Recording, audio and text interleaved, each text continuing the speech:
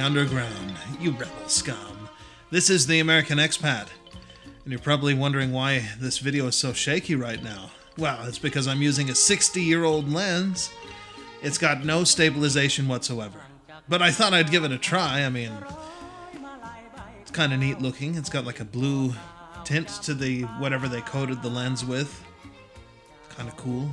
35 millimeter lens. Huh. Is that better?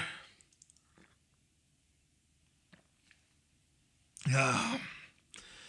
I want to apologize to everybody who is regular on the channel. I mean, you guys come to every single video, and I know I haven't been putting the videos out over the last week. It's just hard to find the motivation when you know you've been siloed. A term that's used, I don't know if that's an official term, but essentially it means that uh, YouTube and Google have limited your reach. So I know that no matter what I put on this channel, it's not going to reach more than you know, maybe a couple hundred people at most, and under the best of circumstances. And uh, it's really frustrating. You know, I, I it was a long, hard slog to get this thing into the partner program, the channel, I mean. And uh, if I were asked by someone, was it worth it to get into the partner program? And I'd say no. There's no way. I mean, I uh, I might have gotten a couple hundred bucks over the entire time that I've been in the partner program. And if I were to compare that against the cost of, let's say, the equipment that I'm using right now, the uh, the camera, the A7 IV, the lenses that we've bought for it. Of course, I do other things with it, so thank goodness for that. But um, let's see, two hundred compared to like four thousand dollars for camera equipment. Um, Oh, how about the time that I've spent, you know, editing videos, putting them together? Definitely not uh, not worth it at all uh, when you look at it that way. Now, I've learned a lot. I mean, I've gotten a lot better at putting videos together and fixing colors and doing all of that. At least I'd like to think so. You guys will have to tell me if you think that the the video quality looks good.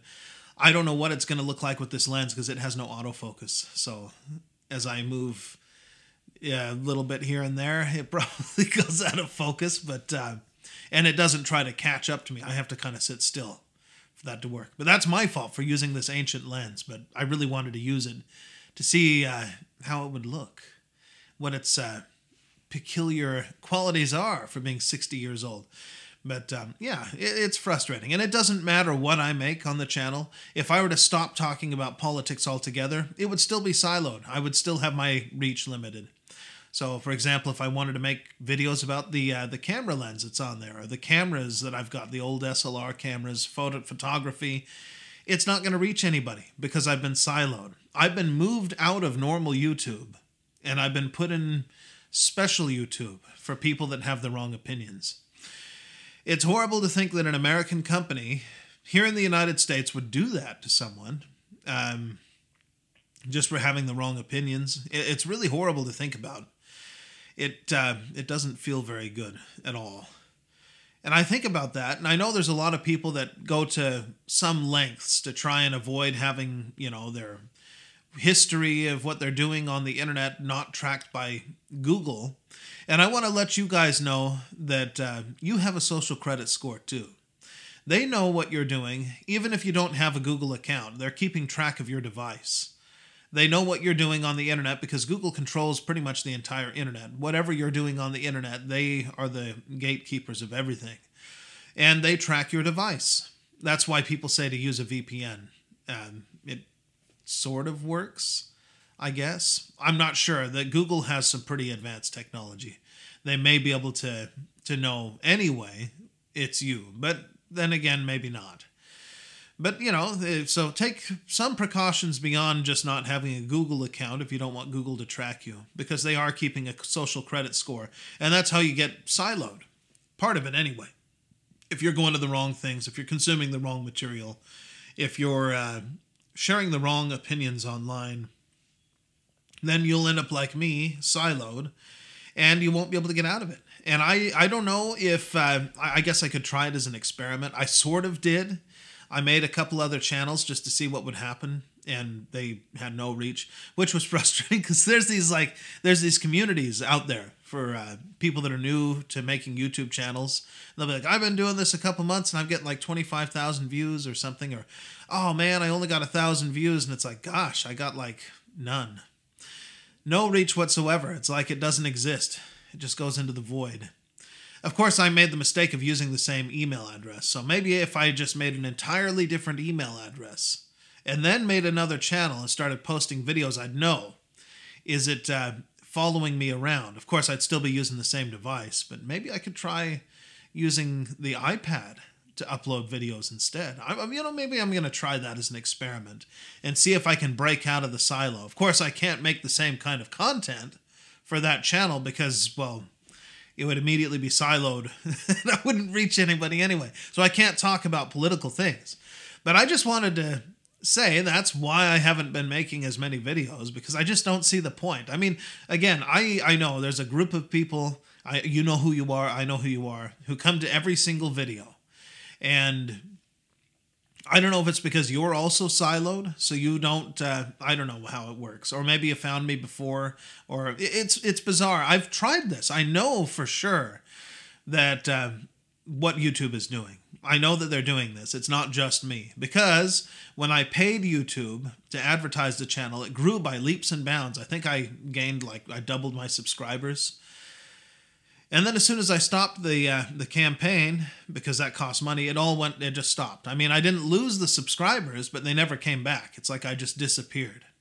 And you know, it stays the same. I'll gain some as soon as I gain, like let's say, and I'm talking like two subscribers or one subscriber in a week then I'll immediately I'll lose one or two or however many it was, so it stays balanced. It never changes, not really that much. Sometimes it'll slowly trickle down at times, but uh, yeah, I found that remarkable. when I paid, it, it's like okay, so if my videos actually get in front of people, they subscribe and they consume them uh, to a large degree. But as soon as I don't do that, then Google just throws me into the closet or the dungeon or whatever it is and nothing ever gets out. That's uh, that's a frustrating thing. And I, like I said, I wanted to warn you guys about that. That uh, you're being tracked too, whether you realize it or not. And they're assigning to you a social credit score. Remember when social credit scores were a terrible thing and everybody was all up in arms, like, oh my gosh, China's got these social credit scores. This is the most horrible thing ever imaginable. Little did we know that here in the United States, they'd be coming up with more insidious social credit scores that um, would do this sort of thing and possibly ruin your entire life. I mean, for having the wrong opinions. In China, it's not possible to have the wrong opinion. I mean, people do, but if you tried to get on the internet, you know, like they'll say, oh, well, if you're saying the wrong stuff on the internet, you can't. You literally can't say the wrong things on the internet in China. You try to post something, and guess what? It just goes into the ether, it vanishes it doesn't go through because they have they literally block certain phrases, they block certain things. So you can't.